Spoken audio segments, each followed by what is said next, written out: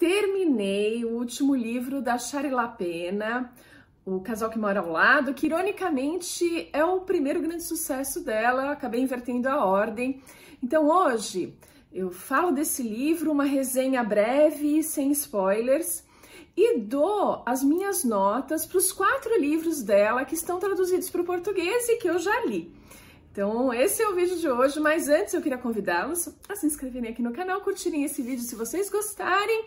Tem as redes sociais com conteúdos diferentes que eu espero que você goste. Último livro que eu li da Shari Lapena. Esse ano eu decidi dar vazão às minhas vontades de leituras, então eu só li suspense, policial, assassinatos, que é um dos meus tipos de livros favoritos. E o fenômeno também acabou se concluindo quando eu terminei de ler todos os livros em português desses, ou melhor, dessas autoras. De quem que eu tô falando? É da Sarah Penner, que eu li os dois livros dela que foram traduzidos. Aliás, eu acho que ela só tem esses dois mesmo. Ela é uma jovem escritora, então o repertório dela ainda não tá tão grande assim, mas gostei muito, já li os dois. Outra é a Cara Hunter, a inglesa, que faz os mistérios dela lá em Oxford. Eu também li tudo o que está traduzido para o português, disponível aqui para gente. E agora fiz o mesmo com a Shari Lapena. Os quatro livros dela, que estão traduzidos para o português, li. O que, que essas três autoras têm em comum? Elas têm muitas coisas em comum. Elas são relativamente novas é, no mercado, digamos, relativamente. Umas têm uma experiência um pouco maior, que é o caso da Shari Lapena, mas as outras também começaram um pouquinho antes, um pouquinho depois, mas estão fazendo muito sucesso. Todas são best-sellers, todas enveredaram pelo suspense policial. E, enfim, e todas são muito boas. Eu acho que essa é outra característica. São livros que você devora se você gosta do gênero. Então, fiz isso. Acabei de devorar os quatro livros traduzidos da Shari Lapena e você poderia se perguntar por que, que você então não vai para os livros em inglês dela, porque sim, diferente da, da Sarah Penner, ela tem outros livros que ainda não foram traduzidos, porém, eu estou finalizando o meu livro, A Sequência de Nas Névoas da Tempestade. Ele é em português e eu não gosto muito de ficar lendo em inglês uh, nesse momento, já que eu estou escrevendo em português, é, enfim, coisas de escritor talvez. Eu não teria problema nenhum de ler inglês, aliás, eu estou tentada a ler, sim, porque eu gostei muito do estilo dela, assim como das outras duas. Estou tentada a ler, sim, mas quando eu terminar o que eu estou escrevendo agora, eu acho que eu ficaria mais tranquila. Ok, vamos para Shari Lapena e o último livro dela que eu li, que ironicamente, como eu disse, é o primeiro grande sucesso dela, O Casal que Mora ao Lado.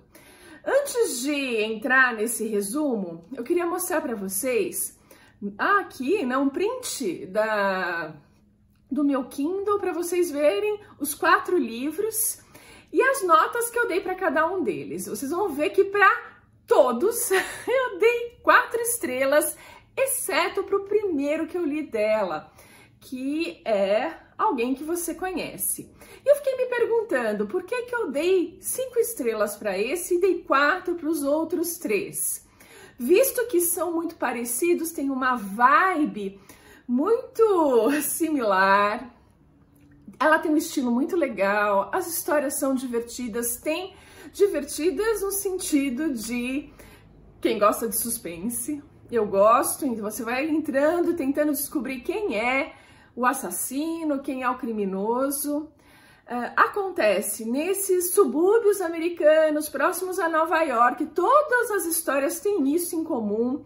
Elas ficam muito restritas ao seio familiar, de certa forma. Então, tem sim o vizinho uh, e os parentes os envolvidos nessa história. É mais todos os livros não são muito diferentes nesse nesses aspectos que eu acabei de listar aqui para vocês. Mas eu não sei se foi porque eu li primeiro alguém que você conhece, eu não sei se porque foi prim o primeiro contato que eu tive com a Shari Lapena, e isso me surpreendeu. Então tem essa surpresa da primeira leitura que acaba dando pontos. Depois que você conhece o estilo, talvez essas surpresas diminuam um pouco. Mas alguém que você conhece, eu acho que ela ampliou um pouco mais o número de personagens, o que eu achei interessante. Esse número maior, isso acontecendo não só naquela pequena vizinhança, mas se expandindo um pouquinho mais, deu um ar interessante para a história. Eu gostei bastante. Eu acho que é por isso também. E eu fui muito surpreendida porque eu comecei por ele. Tudo foi grande e boa surpresa. E para mim, então, merece cinco estrelas. Os outros três pegaram as quatro estrelas porque eu acho que eles têm um número menor de personagens, tem um plot twist, tem plot twists, não é só um, não. Aos poucos ela vai revelando algumas coisas surpreendentes. É claro que ela deixa a grande revelação mais para o final da história. Uma outra característica dela é o final não ser assim tão convencional. Ela nunca termina com ponto final. Ela termina com dois pontos, com uma vírgula, com três pontinhos. Escolha a pontuação que você quiser. O fato é que a história não termina ali na última página, fica algo em aberto e algo geralmente surpreendente. Todos os livros dela acontece isso, se não me engano. Acho que outra característica mais literária, mais do ponto de vista do escritor analisando uma obra, que, que vale a pena citar sim para vocês. Em todas as obras dela, ela escreve no presente. Eu achei essa característica ótima, te dá uma, uma urgência, te dá uma surpresa maior. É, escrever no presente dá uma sensação agradável, deixa a leitura muito mais dinâmica e, e mais surpreendente, pelo menos me passa essa impressão. Gostei muito desse presente que ela usa, sempre terceira pessoa, às vezes entra uma primeira pessoa, mas geralmente é terceira pessoa, depende do livro. Outra característica da Shari é usar frases curtas, capítulos curtos. Parece bobagem, as frases curtas dela são interessantes, são impactantes e já te passam o recado, deixam também essa leitura mais ligeira mais fluida, mais interessante. Então ela tem essas características que uh, fazem dela uma boa escritora, na minha opinião. Bom, vamos ao último livro, Casal que Mora ao Lado, que foi o grande sucesso dela e que ela lançou como best-seller e como escritora de uma forma mais internacional. O Casal que Mora ao Lado tem poucos personagens, tem dois casais que moram um ao lado do outro, são casas geminadas. Então é aquela casa que divide uma parede, você consegue até ouvir o que está acontecendo do outro lado. O principal casal é o protagonista e é o que sofre o crime dessa história. Eu tô falando da Anne e do Marco Conte. Eles têm uma filhinha, Cora. E na noite do crime, eles foram nesse vizinho de parede que são os Stilwell. Stilwell, olha, ela é criativa para os nomes. A gente tem a Cynthia e o Graham Stilwell, que estão dando um jantar. E a Cynthia é muito linda. Ela não quer ter filhos, ela é aquela mulher perfeita. Ela tá ela acorda já com um salto agulha, ela tá sempre de uma saia justa, marcando o corpo cheio de curvas dela. Ela é maravilhosa e ela é daquele tipo de mulher que vocês já devem ter conhecido uma ou outra que precisa o tempo todo ficar se insinuando, ficar é muito bonita, mas precisa ter uma plateia para que a beleza dela seja reconhecida. Ela é assim, ela paquera muito também, ela vai além do feedback positivo dos homens, ela quer mesmo uma certa paquera, enquanto Graham, marido dela, é meio banana, digamos, aquele cara meio pacatão e tal. Então, os, o casal do lado foi jantar. Eles têm uma filhinha de seis meses, a Cora, que estava dormindo no bercinho dela. Porém, a Cíntia, quando fez o convite, ela falou: Olha, não traga a bebê, não quero a Cora que ela chora demais, ela é agitada. Ai, nada a ver, é, deixa com a babá. Depois a gente vai descobrir que a babá dessas babás americanas, garotas adolescentes da, da vizinhança que você contrata por noite, vai pagando tal, a gente vai saber que a babá cancelou, a, ela não pôde ir e ela cancelou o trabalho. O que, que elas fizeram? O casal não quis cancelar o jantar e tal, apesar da Anne estar tá realmente incomodada com tudo isso, mas com a pressão ali, ela acaba cedendo, eles ficam com a babá eletrônica ligada e indo a cada meia hora se revezando, ela e o marido, para dar uma olhadinha na bebê, enquanto ela também, quando vai, amamenta, tal e coisa. Ficam lá, então o livro começa assim, descrevendo esse final de jantar, a impaciência da Anne, preocupada com a filhinha dela, e notando a insinuação ostensiva da Cíntia para cima do marido dela. Ela tava demais, tipo, atacada mesmo, se insinuando aquela roupa justa, aquela coisa, aquela fenda super grande na saia, esse tipo de coisa. Só sei que no final da noite, é, lá para uma hora da manhã, algo assim, eles vão de, em definitivo para casa. E quando eles chegam, a bebê não tá no berço. Pronto, essa é a história. Quem raptou a Cora? Estaria a Cora viva? O que, que aconteceu? E assim, vocês vão ver logo que não existem muitas informações do pessoal do CSI, né? Aquela parte forense. Não, não são encontrados vestígios de outras pessoas na casa dos Conte. Quem então pegou a bebê? Se ninguém entrou na casa? E aí, quem é chamado para investigar é o Rashback o mesmo investigador que vocês vão ver no próximo livro dela, Uma Estranha em Casa. Dizer, não sei se é exatamente o próximo, mas nessa história, o detetive Hashback e o Jennings, que é uma dupla de detetives, voltam a investigar os crimes. Pois é, ele, ele que é um cara muito frio, ele irrita bastante as vítimas, inclusive, do, do sequestro porque ele não acredita muito. Ele, ele tá vendo as evidências, ele desconfia do casal, do próprio casal. Só que o casal estava na festa. Como é que isso aconteceu? E aí vai começar essa história. Depois a gente também conhece os pais da Anne e do os pais da Anne, do Marco não, né, da Anne, que são mega plus milionários. Ah, olha aí, aí precisava ter um motivo para o crime? Pois é. Os pais da Anne são milionários, a Alice e o Richard Dries.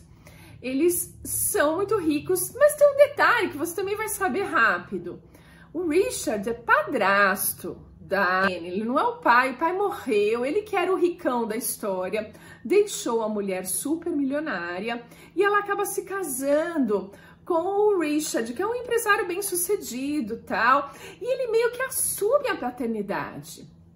É, mas a gente fica sabendo dessa, dessa história prévia.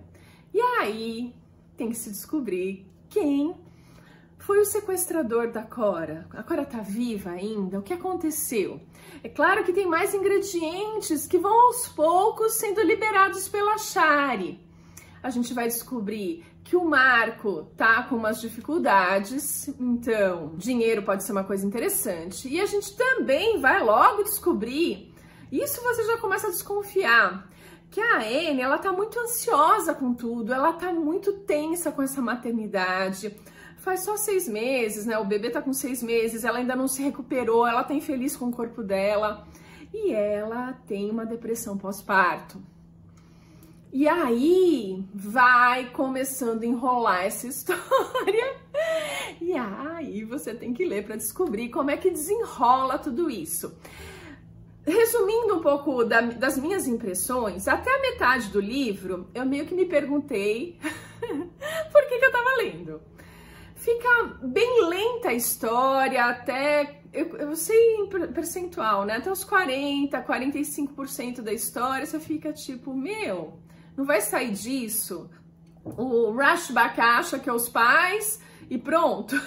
Só que quando cruza os 50%, você passa da metade do livro, as coisas começam a se revelar, você começa a ter acesso às histórias pregressas de todas as pessoas ali envolvidas.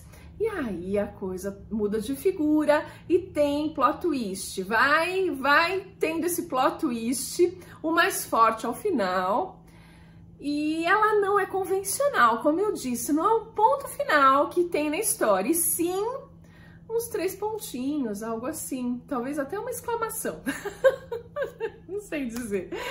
Mas a Shari tem um estilo que eu gosto, eu dou quatro estrelas por causa desses 50% iniciais que demorou um pouquinho para engrenar, é diferente do alguém que você conhece ele já engrena na segunda página. Na segunda página você já tá assim, o que que tá acontecendo aqui?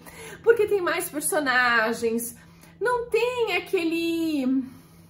Ela vai fazendo um mise-en-scène, ela vai fazendo um preâmbulo de, cinco, de 50% do livro. É, eu acho que é um pouquinho demais, por isso que a nota caiu. Se ela seguisse o ritmo é claro que todo livro de suspense, ele começa mais brando e vai numa escalada de tensão. Não só suspense, qualquer livro. Tem que ter um conflito e essa tensão ela tem que escalar. E ela tem que aumentar à medida que vai chegando ao final da história. A Shari faz exatamente isso, só que eu acho que nesse livro demorou muito para escalar, ficou um platô de 50% e pá, aí de repente começa a escalar vertiginosamente. Por isso as quatro estrelas. Se tivesse mantido algo mais constante ou começado essa escalada de tensão um pouquinho antes, eu acho que eu ia gostar mais da história. Mas veja, são só comentários enriquecendo um pouco aqui a minha opinião porque eu não deixaria de, de ler. Eu não parei. Eu me questionei se eu deveria continuar ali no começo, que não estava me agradando tanto, mas eu continuei. E aí você não desgruda mais. Você demora um pouquinho mais para pegar, diferente dos demais, mas você pega o gosto pela leitura e quer saber quem é o assassino. Eu aventei a possibilidade de comprar um dos livros dela em inglês para começar a ler porque eu fiquei, deu uma certa ressaca literária, fiquei meio apegada uh, ao estilo dela. Mas como eu disse, como eu tô com um livro em português para terminar e eu tô com um prazo apertado, eu achei melhor deixar minha mente no português e não ficar mudando de língua. Isso me atrapalha um pouco, ficar mudando de, de língua aqui e acolá. Num dia normal, quando eu não tivesse, se eu não tivesse terminando meu livro, eu não teria problema nenhum, mas eu estou. Então, é isso. Acho que eu falei tudo que eu queria. Não dei nenhum grande spoiler, acredito eu. E gosto muito. Acho os quatro livros dela, que estão traduzidos para o português, muito bons. Independente das notas que eu dei, acho que eles valem a pena ler se você gosta desse estilo de suspense, de policial, de crime que você tem que descobrir numa vizinhança que você não conhece ninguém. Essa é a verdade, nem o pessoal da sua família mesmo. É isso. Eu fico por aqui e a gente se vê no próximo vídeo.